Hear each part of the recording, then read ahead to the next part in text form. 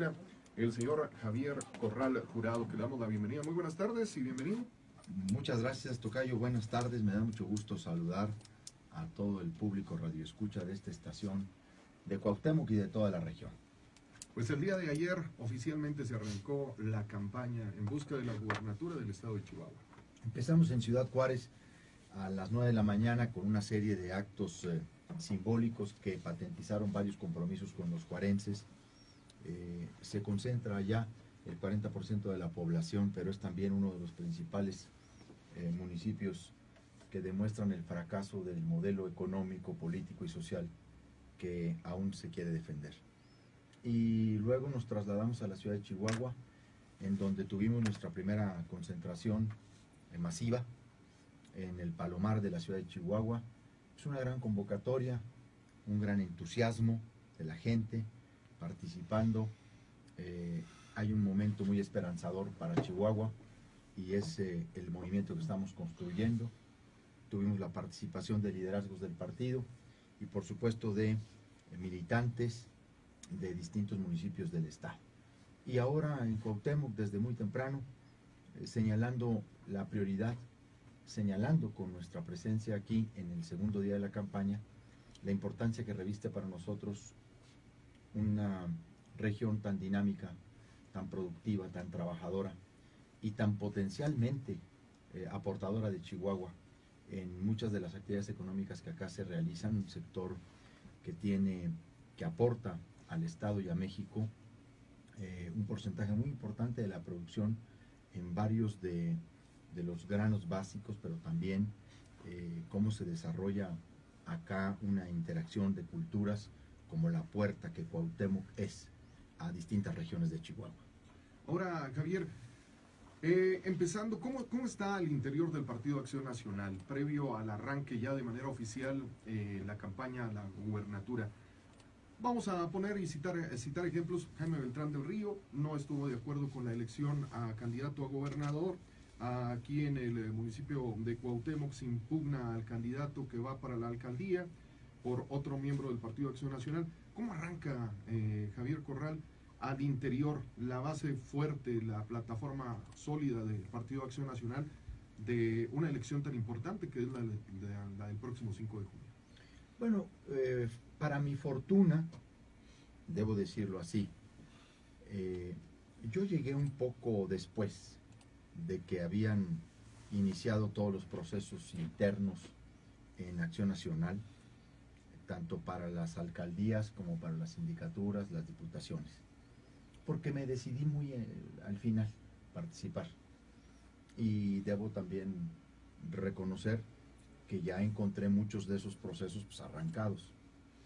En torno de mi candidatura eh, se han conjuntado prácticamente todas las expresiones y grupos y corrientes que hoy tienen presencia en el PAN.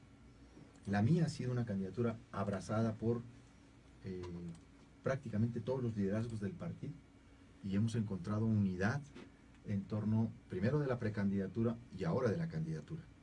Y debo decir, por ejemplo, que reconociendo que ha habido tensiones locales tanto eh, primero en Juárez hubo, las resolvimos, luego en Delicias y en Cuauhtémoc que fue donde, y un poco en Rosales, que fueron los cuatro municipios donde tuvimos una mayor tensión, incluso ahí donde se produjeron diferencias eh, o molestias por la forma en que se resolvió las candidaturas.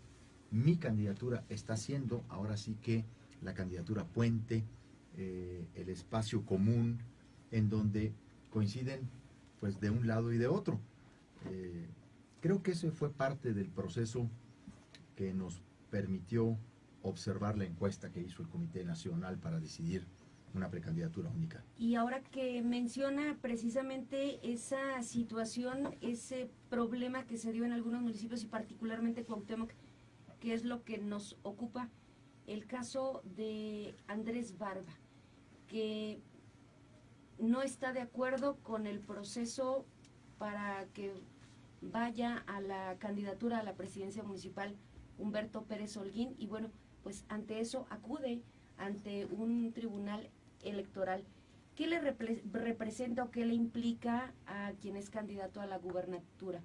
¿siente que le pudiera quitar, eh, restar votos? Bueno, déjenme decirles en primer lugar, Brenda, que yo tengo por Andrés Barba, pues un gran reconocimiento y un gran afecto, una gran admiración. Yo Andrés lo conozco desde toda una vida. Es más, debo decirles que cuando Andrés fue candidato a presidente municipal en Cuauhtémoc, estoy hablando de 1986, cuando la candidatura, la primera candidatura de Barrio de Gobernador, yo fui ni más ni menos el maestro de ceremonias de esa convención municipal aquí en Cuauhtémoc, en donde no solamente era Barrio el candidato, Andrés candidato a la presidencia municipal, sino ni más ni menos que aquí el doctor Víctor Rodríguez Guajardo, eras tu candidato a diputado local por el distrito. Yo tengo una gran relación con Andrés y tengo un gran respeto por él. Yo incluso hice un esfuerzo aquí en Cuauhtémoc, en alguna ocasión que vine en mi precampaña, para tratar de conjuntar las visiones. Incluso los invité, tanto a Beto Pérez como a Andrés, a que viajaran conmigo de Cuauhtémoc a Bachíniva y que pudiéramos platicar en el camino para tratar de conciliar posiciones, toda vez que teníamos un dilema que yo quería participar en resolver. Un candidato que dentro del partido ha trabajado mucho a la militancia, como es Andrés, y otro precandidato del partido que hacia el exterior tenía también un muy buen posicionamiento. Entonces yo decía, a ver, ¿cómo conciliar los instrumentos de medición para determinar quién de los dos tiene el mayor equilibrio entre un factor y otro? Porque de eso se trata una contienda, una competencia electoral. ¿Quién es el que logra sumar más de, de adentro también y de afuera y no se nos pierde ese equilibrio de competitividad? ¿Y por qué lo decía yo así? Pues porque yo defendí ese proceso en mi propio caso. Eh, yo no sé si usted sepa, Brenda y Francisco Javier, que yo fui designado precandidato de unidad del PAN porque obtuve en los dos instrumentos eh, los mejores números. No solamente afuera, yo incluso en los careos de opinión entre Serrano y un servidor, en esa encuesta yo salí seis puntos arriba. Ya ven que, por ejemplo, ahora se publica una encuesta en donde ponen las cosas en, gran diferencia. Pero ¿qué pasó? Finalmente no logró conciliar a Andrés Barba y a Pérez. Pero déjeme terminar, porque el segundo instrumento era una consulta adentro a, la militancia, ¿sí? Y habíamos seis precandidatos a la gubernatura del Estado. A mí me asombró muchísimo la encuesta interna que el PAN realizó porque más del 50%, casi el 60% de la militancia del partido quería que yo fuera el candidato a gobernador. Ahí era muy claro que en los dos instrumentos estaban las cosas muy juntas. Afuera tenía ese posicionamiento muy claro y adentro incluso mucho más. Entonces ahí hubo claridad. Acá eh, no tuvimos esa claridad y lo que se optó en el Comité Directivo Estatal fue por hacer la designación con base en la encuesta de opinión abierta a la ciudadanía. Se le dio un valor de ponderación al instrumento y, se decidió por Humberto Pérez. El procedimiento ya era eh, designación de entrada eh, con base en sondeo de opinión abierta a la ciudadanía. Y miren, a mí más que a nadie me puede lo que pasa en Cuauhtémoc. Yo no puedo venir a decirles aquí que no pasa nada. Pues claro que pasa, porque pues se desaniman algunos compañeros internamente, porque Andrés es un liderazgo que necesitamos en el partido. No es de los que podemos decir, sí, que, que se vaya. No, no es un Héctor Ortiz, no es un Cruz Pérez Cuellar. Eh, Andrés Barba es un liderazgo moral y ético en el PAN que por ningún motivo podemos eh, permitir que se nos vayan. Y por eso yo entiendo y concedo el derecho que Andrés tiene de impugnar el procedimiento y de... Y que ya lo hizo, ya le admitieron la impugnación. Y de desahogar, y de desahogar eh, su derecho como militante del PAN. Yo no estoy en contra de que los militantes del partido ejerzan a cabalidad sus derechos políticos cuando en realidad buscan o resarcir un procedimiento o satisfacer una duda, una, eh, una irregularidad, yo lo he hecho. Yo he acudido a tribunales en anteriores ocasiones, por lo menos en dos, cuando procedimientos internos no estuvieron eh, eh, pues apegados a la ética del partido y sobre todo la legislación.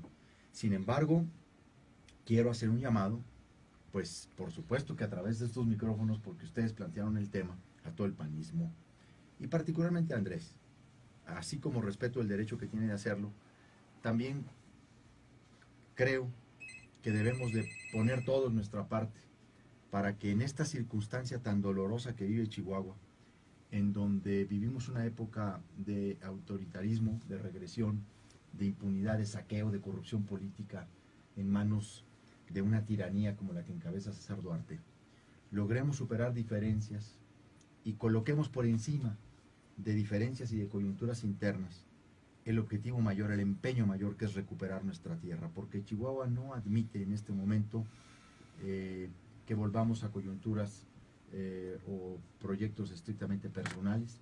Necesitamos unirnos, y no solamente los del PAN, porque yo estoy llamando a toda la ciudadanía, incluso de, todos los partidos, a que tomemos la decisión de conformar un gran frente eh, opositor democrático en Chihuahua, una gran alianza ciudadana que se convierta en un polo de atracción de los demócratas opositores en el Estado para enfrentar al duartismo serranista que tiene un plan de impunidad transeccional y que es ahí donde tenemos que colocar la mirada.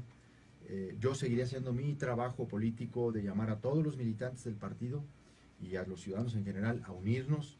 Es el momento de la unidad. Y bueno, usted me decía, Brenda, y entonces no hubo posibilidades de acuerdo.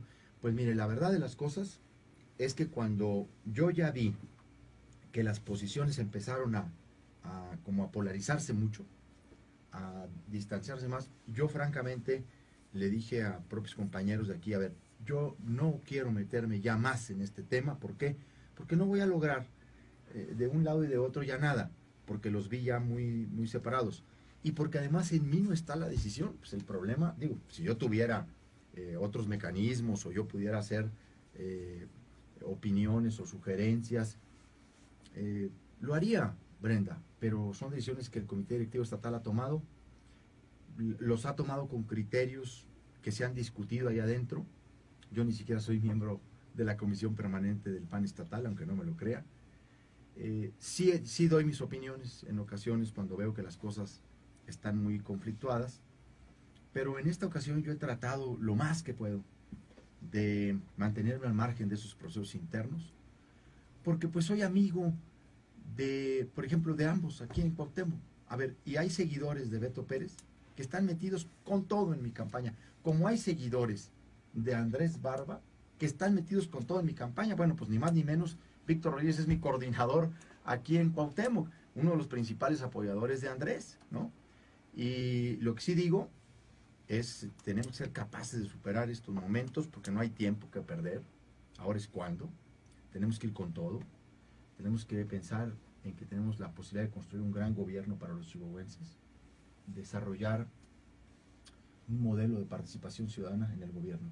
¿Cuáles son? Perdón, Perdón, usted mismo citó el nombre de Cruz Pérez Cuellar y citó el nombre de Héctor Rafael Ortiz Orpinel. Pues yo nada más dije Héctor Ortiz, no sabía que era Rafael también. no se crea. Bueno, usted citó eh, los nombres de esos dos personajes que finalmente no podemos quitarnos de la mente que son eh, o que fueron eh, miembros activos del Partido Acción Nacional. Vamos, en el caso de Héctor Ortiz, pues hasta diputado le tocó ser coordinador de bancada en el Congreso local.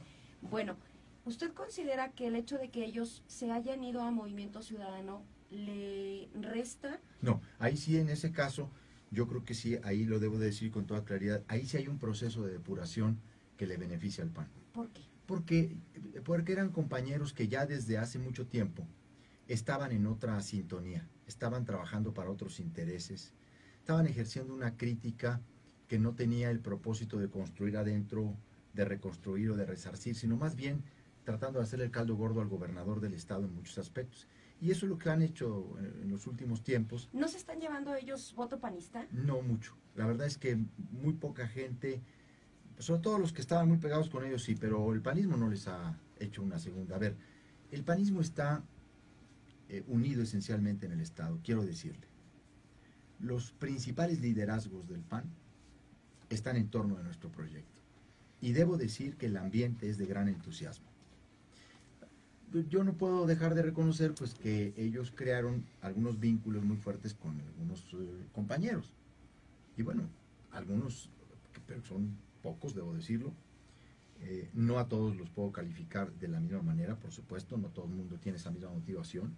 Por ejemplo, se nos fue una compañera de Juárez, que es María Antonieta Pérez Reyes, pues por supuesto que no la pongo en ese saco. Para mí esa es una de las pérdidas reales del PAN, la de María Antonieta en Juárez. Pero por cierto también le digo que ya la estoy recuperando, que ya la estoy rescatando, ya este, hemos hablado, incluso me dijo, a ver, yo sí contigo sí voy a ir, porque sé que que eres otra cosa, y que, etc. Lo otro es más mediático y están muy inflados por, el gobierno del Estado, que les procura espacios, tienen primeras planas. Mire, yo soy candidato a gobernador y todavía no merezco una primera plana en ninguno de los diarios de Chihuahua.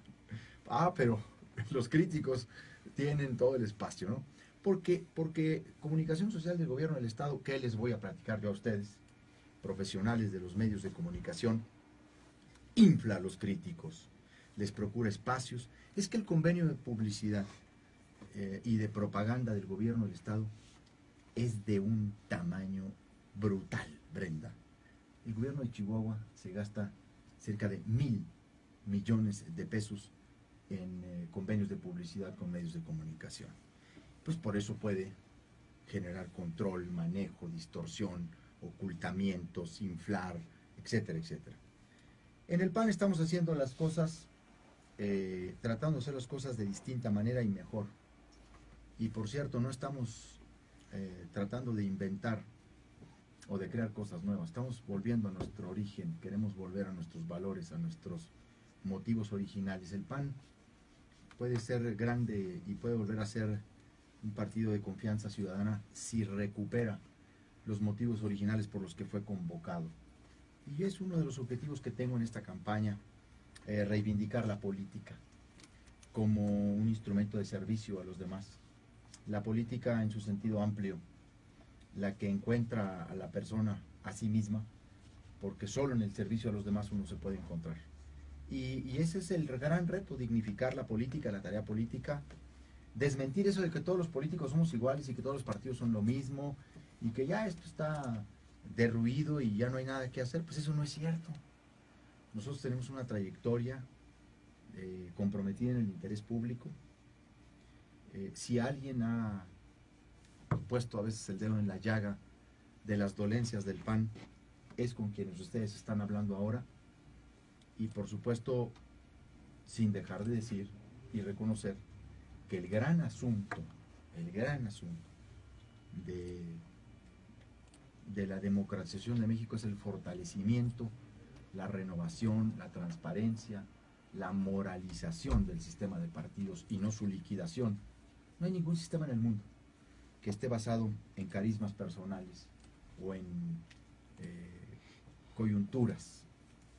Eh, las mejores democracias eh, del mundo están basadas en un sistema de partidos, eso sí, fuertes, transparentes, limpios, que respetan los derechos de sus militantes y rinden cuenta a los ciudadanos. Y ese va a ser, por cierto, uno de los objetivos de la gran reforma política que nosotros vamos a hacer en Chihuahua. Por eso, eh, a la, siguiente pregunta, Javier, eh, la plataforma que ofrece a los chihuahuenses para llegar a las conciencias, para buscar el voto para el próximo 5 de junio, parte, ya dijo una parte de ello, pero ¿cuáles eh, los puntos más fuertes que va a atacar Javier Corral para tratar de llegar al electorado? Primero vamos a hacer un gobierno ciudadano. Y este es un concepto eh, fundamental. Es un eje central de nuestra propuesta. Cuando decimos esto es que colocamos al ciudadano como el sujeto esencial de la política pública y por lo tanto vamos a crear los mecanismos de participación para que la gente pueda decidir no solamente aquellas obras y servicios que más necesita, sino también darle seguimiento a la ejecución de esas obras, a la administración de los recursos incluso, como lo hizo en alguna ocasión el programa de Pancho Barrio llamado Jalemos Parejo, un programa donde la gente decidía eh, las obras, eh, incluso eh, administraba los recursos que directamente el gobierno les trasladaba. Necesitamos crear los mecanismos dentro del gobierno para transparentar el gasto público, para que los ciudadanos sean partícipes en la evaluación y la sanción de procesos licitatorios, para que toda la obra, la proveeduría de bienes y servicios en el gobierno sea totalmente abierta, transparente, en vitrina, toda. Porque cuando uno empieza a generar ciertos eh, segmentos opacos, por ahí se cuelan muchos recursos. Vamos a ser un gobierno comprometido con la rendición de cuentas. Y vamos a ser un gobierno, por supuesto, basado en la división de poderes, el respeto a la ley. Pero también he dicho que voy a ser un gobierno con visión social. Un gobierno que oriente los recursos a las necesidades más apremiantes, a las más eh, importantes, obras bien hechas, prioritarias, bien realizadas, que atiendan eh, rezagos de infraestructura. Tengo tres prioridades muy importantes. Consolidar un sistema de seguridad pública eficiente a partir de la profesionalización y limpieza de las policías, dignificando la labor del policía, mm, revalorando el papel de los agentes ministeriales y de los policías estatales que trabajan en condiciones verdaderamente adversas y hostiles, por el salario que tienen, por las pocas prestaciones que gozan y porque pues son muy pocos para ir a enfrentar en un municipio a todo un ejército de sicarios a veces, ¿no? Como lo que vivimos el fenómeno en la sierra. Una policía de investigación. Y cuando hablo también de consolidar y de mejorar la seguridad pública, hablo también de otra necesidad que es fundamental en Chihuahua y que tiene que ver con atender un nuevo desarrollo económico a, partir de una economía solidaria que no solamente sepa crear pequeñas y medianas empresas a partir de un programa, produce y construye tu propio negocio, sino revalorando el salario en Chihuahua, eh, buscando nuevos acuerdos entre inversionistas, entre autoridades, tribunales, sector académico. Eh, el gobierno del Estado puede hacer mucho para que en Chihuahua el, el salario sea mejor remunerado. Tenemos zonas de pleno empleo, sí es cierto, pero con salarios muy bajos que no alcanzan para nada. Y cuando a una persona el salario no le da para vivir, la frustración es mayor. Cuando a una persona teniendo un empleo, este no le saca de su condición de pobreza, estamos generando una enorme frustración e irritación social por el esfuerzo que realiza y que no se ve recompensado. Y yo voy a generar una política de acuerdo, eh, una sinergia de nueva cuenta en Chihuahua entre inversionistas, autoridades, sector académico, autoridades laborales, para generar de nueva cuenta confianza, Estado de Derecho, pero sobre todo para detectar e impulsar el desarrollo productivo de las regiones y dotar de valor agregado a muchos de nuestros productos, a, impulsar proyectos de creación de empresas que permitan eh, tener eh, pues servicios que los chihuahuenses podemos eh, ofrecer y crear. Y hablo de un gobierno de visión social porque me voy a comprometer de manera preferente por los que menos tienen. He dicho abiertamente que gobernaré para todos. Incluso he ofrecido un gobierno plural. Un gobierno de las mejores y los mejores chihuahuenses estén donde estén, incluso del PRI. Y sin embargo, el gobierno debe tener una prioridad, que es atender a los que más han esperado. Y ahí tenemos dos retos fundamentales. Asegurar la cobertura de salud para todos los chihuahuenses. Que ningún chihuahuense se quede sin la posibilidad de un servicio médico, de una consulta presencial, de un contacto básico con un médico, con una clínica, con un centro de salud. Es una obligación del gobierno tener, eh, garantizar el acceso a la salud, como lo tendremos de garantizar el acceso a una educación de calidad que no solamente se trata de una reforma administrativa para evaluar a los maestros.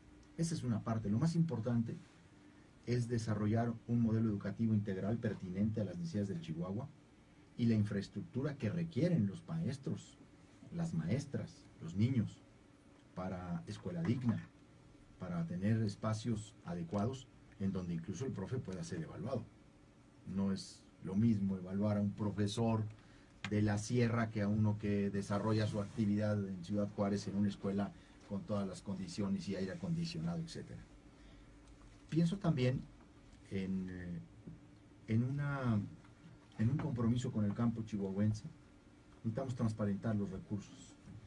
Necesitamos que el gobernador acompañe a los productores a realizar sus gestiones ante las distintas dependencias federales, pero también el gobernador debe poner aquí mismo el ejemplo de una distribución justa de recursos y de apoyos para eh, apoyar sobre todo, para estimular sobre todo los procesos de comercialización de cosechas, para impulsar la innovación tecnológica que nos permita utilizar de mejor manera el agua, eh, la energía eléctrica, eh, un, gobernador que acompañe a los productores a abrir mercados, porque esa es la labor de un gobernador, no andarles compitiendo los negocios a los productores o a los empresarios, ¿no?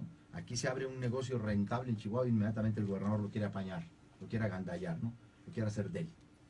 Necesitamos un gobernador que sea un árbitro de los intereses y un promotor del desarrollo económico. Y eh, una de las propuestas que, que tengo para todo Chihuahua como una prioridad pues es atender a la niñez tenemos un serio problema en el Estado. Hemos abandonado a los niños. Eh, se ha dejado de atender eh, el cuidado infantil, donde hay toda una posibilidad no solo de futuro, sino de armonía social, y en donde podríamos abatir muchas otras etapas de distorsión que luego tienen los niños cuando son jóvenes y pueden caer en adicciones, etcétera. Y me refiero a los niños porque eh, en ciudades muy grandes, Juárez, Chihuahua, Cuauhtémoc, Delicias, Parral, hay muchos niños que no son atendidos, no hay guarderías, eh, no tenemos escuelas de tiempo completo que les puedan auxiliar en su formación integral, no hay acceso a la cultura para los niños, se ha dejado esa parte. Ayer dije en Juárez que voy a transformar eh, la imagen de Juárez, de ser la capital del feminicidio, en ser la ciudad que cuida a sus niños y a sus niñas. Porque el problema en Juárez, híjoles de dimensiones este, escalofriantes. Muchas madres solteras que tienen el cuidado de sus hijos, incluso a su cargo jóvenes con problemas de adicción.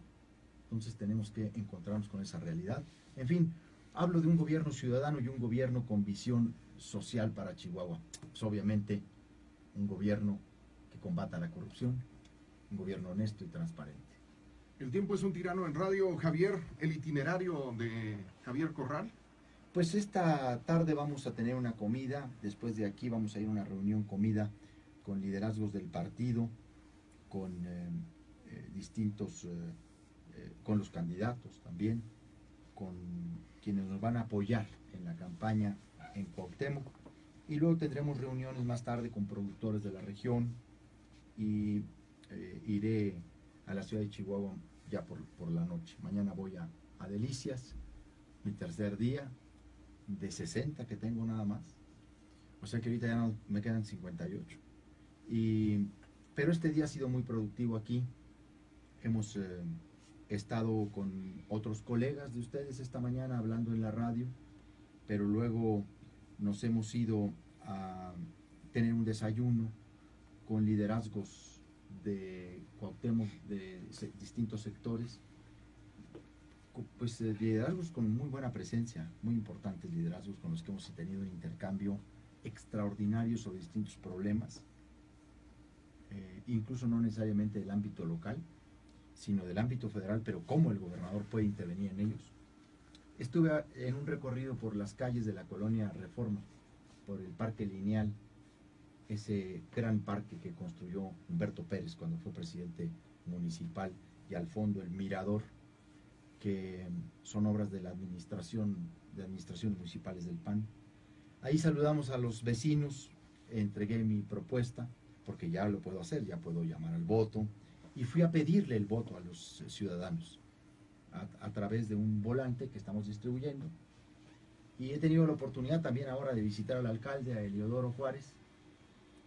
Debo decir que ha sido un diálogo muy provechoso para mí, porque en el PAN nos sentimos realmente muy orgullosos de la labor de Eliodoro. Yo quiero decir que es uno de los personajes de los que el PAN se siente orgulloso de haber decidido su candidatura y luego respaldado como presidente municipal, porque la obra de Eliodoro es muy importante a pesar de la manera en que se le han regateado al ayuntamiento de Cuauhtémoc eh, recursos, incluso cómo se dejó por parte del gobierno del estado de poner la parte que les toca en lo que se conoce como el mecanismo de paripasus para poder eh, acrecentar recursos.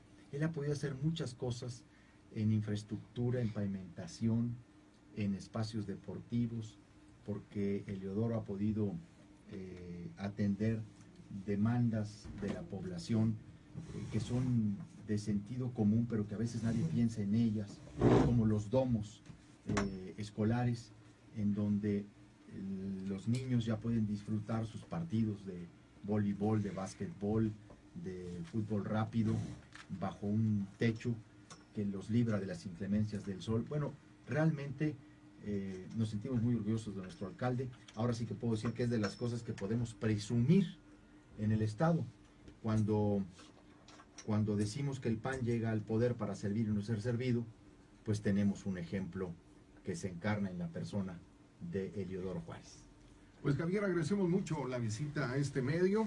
Eh, él es el candidato del Partido Acción Nacional a la gubernatura de Chihuahua en eh, su segundo día de campaña ya de manera oficial y pues me imagino eh, recorriendo prácticamente todo el estado que es bastante grande.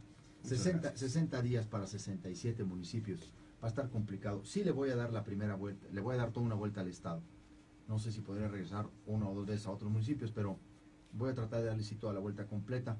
No quiero retirarme de estos micrófonos sin enviarle un saludo a Israel Beltrán Montes, por supuesto a Israel Beltrán Zamarrón, pero particularmente Israel Beltrán Montes, bueno, todo el mundo sabe y son conocidas pública algunas de nuestras diferencias, pero yo agradezco la apertura con la que Israel ha abierto este espacio y espero que así nos mantengamos. Al final de cuentas, eh, libraremos una competencia electoral y aquí seguiremos trabajando todos por Chihuahua.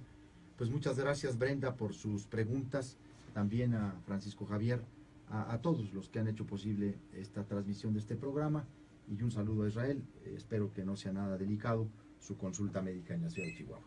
Pues muchas gracias. Eh,